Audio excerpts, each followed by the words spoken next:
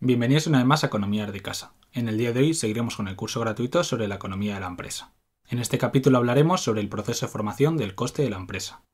Para calcular los costes totales de una empresa, tenemos que contabilizar todos los gastos que la compañía ha realizado, tanto los factores productivos que ha utilizado, como otros gastos indirectos que son necesarios, como puede ser el mantenimiento del local o la promoción de su negocio. Por ello, para llegar al coste total de la empresa tendremos que sumar cinco tipos de costes. En primer lugar, los costes directos, que son aquellos que de primera mano podemos asignar a un producto, como pueden ser las materias primas o la mano de obra.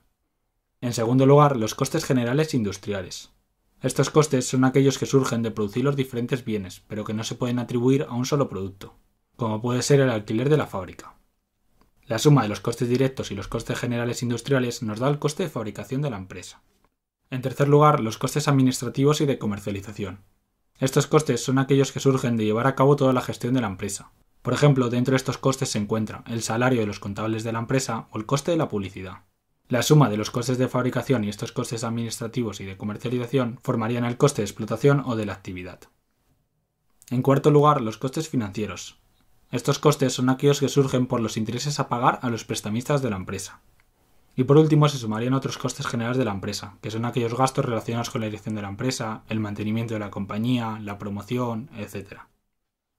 Todos estos costes sumados formarían ya por fin el coste total de la empresa. Con todo esto me despido por hoy. Espero ver si ayuda y si así por favor suscríbete a mi canal para estar al tanto de nuestro curso gratuito sobre la economía de la empresa.